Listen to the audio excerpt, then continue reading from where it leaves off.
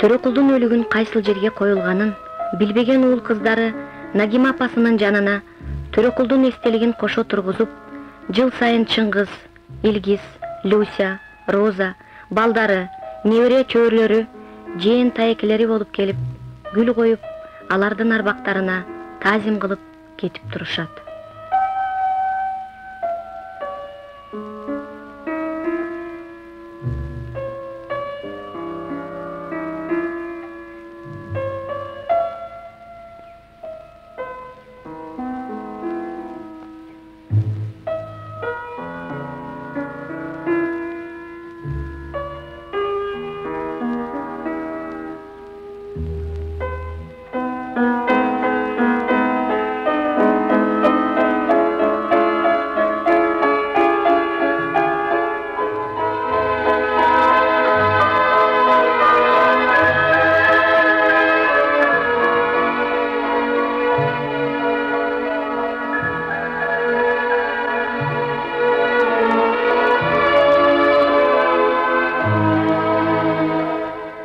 төрөкул айтматовдун уулу чыңгыз айтматов кыргыз элинин маданияты үчүн албан иштерди жасады.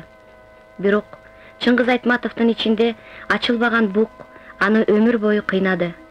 Чыңгыздын жетишкендиктерин чоң кубанычтарын бөлүштүрүүдө дайым атасы жок. Акыл кеңеш берүүчү асыл атасынын эмне күнөөсү үчүн өкмөт тарабынан жоготулганын дайыма ойлонот. Кайгырат жоктойт бир кездеги оор мезгилдер жана бүгүнкү жетишкендиктерди чыңгыз ага дайыма тең салмактап ойлоно берет.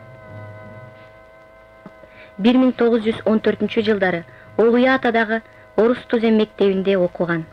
Ошол эле жылдары төрөкул атасы менен казакстандагы темир жолду курууга катышкан.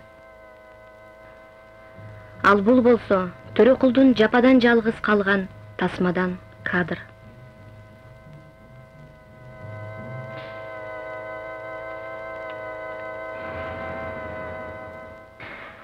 көптөгөн жылдар өтүп кетсе дагы төрөкулдун замандаштары өткөн мезгил жөнүндө анын уулу менен өз ойлорун бөлүшөт эмесе сөз уулу академик илгиз учурубуз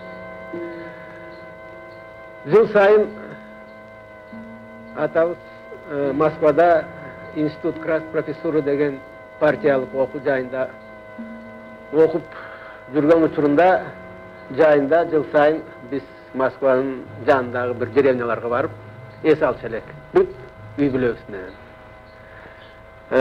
жайындагы баягы гүл терип токойлорго барып грибыларды терип ушундай атабыз энебиз менен бирге жайды абдан жакшы өткөрчү элек деревняларында. Ошол августтун акыркы күндөрүндө отуз жетинчи жылы атабыз менен коштошуп аткан учурда эми албетте мен ойлогон эмесмин бул акыркы коштошуу экен деп. Атабыз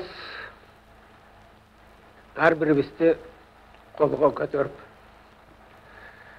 кысып өбөп биз менен коштошту эми мүмкүн чыңгыз аны сезсе сезген чыгар.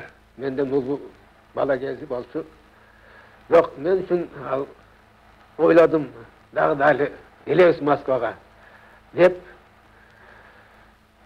ушу атабыз менен коштоштук купеге бизди жайгаштыргандан кийин эшикке чыгып биздин купенин тушунда терезенин тушунда туруп ушу поезд жөнөгөндө ушул колун булгап кошкула деп бирок акыркы экен акыркы ошол мезгил акыркы биз үчүн акыркы атабыз башка көрбөйт көрбөстүгүбүзгө мен ойлогон эмесмин бирок мына ушул башыбыздан ушундай турмуш келип ушундай кыйынчылык түшкөнү биз күткөн эмес мындай боло турган.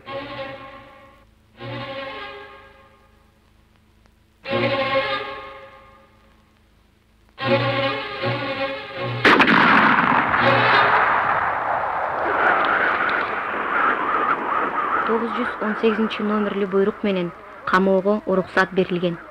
Бир миң тогуз жүз отуз сегизинчи жылы төртүнчү ноябрда түнкү саат он бирден беш минута өткөндө сот болуп 25 минутанын ичинде төрөкулдун тагдыры чечилип атууга өкүм чыгарылган адамдын келечеги ушинтип адилетсиз чечилген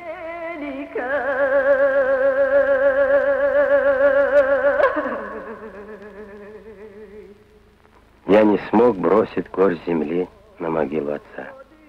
Я смог лишь посвятить его памяти свою повесть «Материнское поле». Отец, я не знаю, где ты похоронен. Посвящаю тебе Тарекулу Айтматову. Мама, ты вырастила всех нас четверых. Посвящаю тебе Нагиме Айтматову. На многие годы на нас с матерью легло неизгладимое клеймо. Семья врага народа. Но даже тогда мать всегда говорила, держи голову гордо. Если спросит, говори, я сын Терекула Айтматова.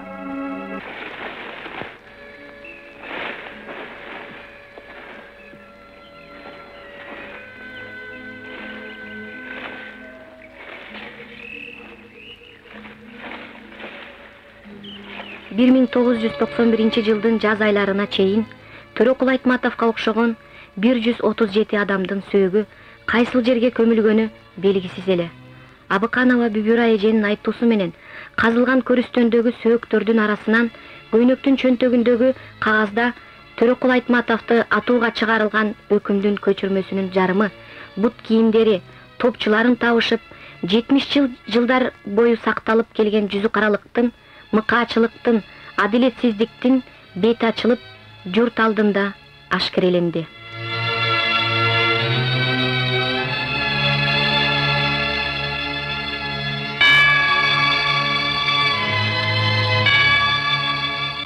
төрөкул айтматов отуз төрт жаш курагында жалган жалаа менен өлүмгө дуушар болгону анын ысымы эч убакта унутулбайт анын калган өмүрүн жашоосун шекер айылында өз аты коюлган мектептеги жаш улан кыздар улай бермекчи бир кездеги шекер айылынын муундарын окуткан дүйшөндүн мектебинин ордунда бүгүн майрам дүйшөн каалаган ой максаттар ишке ашып айтматов түзгөн адабияттагы образдар асман астындагы сүрөт музейинде орун алды. Ата менен баланын ортосундагы сүйүү кусалык бирин бири сагынуу бир кездеги жүрөктө калган кара тактардын белгиси ушул жерге орногондой.